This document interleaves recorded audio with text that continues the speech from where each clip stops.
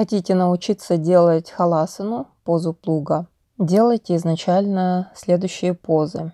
Ложитесь на спину, согните колени, ноги на ширине таза поставьте. Приподнимая таз, можете помочь себе руками, проверните как будто как колесо вперед и опустите сначала поясницу, затем таз на пол. То есть чувствуете, поясница плотно прижата к полу, живот расслаблен. И теперь очень плавно отрывайте таз, поясницу, всю спину от пола. И также плавно позвонок за позвонком опускайте. Сделайте такие несколько движений. Следующее упражнение из этого положения, когда вы приподнимаете таз, руками шагаете по полу к ногам, оттягиваете плечи назад, отталкиваясь руками, ногами от пола, еще больше приподнимайте таз вверх.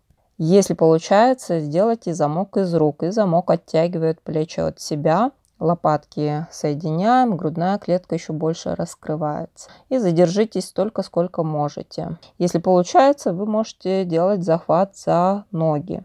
Держите столько, сколько вы можете. И затем делайте обязательно компенсацию. Притягивайте бедра к себе, но таким образом, чтобы живот был расслаблен. Обязательно старайтесь делать компенсацию после каждого упражнения или комплекса упражнений. Следующие позы можете выполнять с помощью блоков, либо возьмите книги, либо любую другую опору. Высоту выберите удобную для себя. То есть вы должны крестец положить на опору. И по одной ноге поднимайте вверх, задерживайтесь в каждом положении. Затем обе ноги также поднимайте вверх, Задерживайтесь настолько, насколько получается. Руки или вдоль корпуса, или над головой. Обязательно отдых, компенсация. Следующая поза из положения лежа на спине. Руки захватывают за ноги, куда достаете, либо возьмите ремень, пояс, все что угодно, помощника. Можете, если достаете, захват за пальцы, либо тремя пальцами рук захват за большой пальцы ног. Следующее. Притягивайте с помощью рук ноги на себя, прям над головой, как будто хотите опустить пальцы. Растягивайте еще больше мышцы ног. И затем можете попробовать делать халасану, то есть закидывать ноги за голову. Если не получается пальцы достать до пола, можете коленями упереться в лоб, но не задерживайтесь в этом положении слишком долго.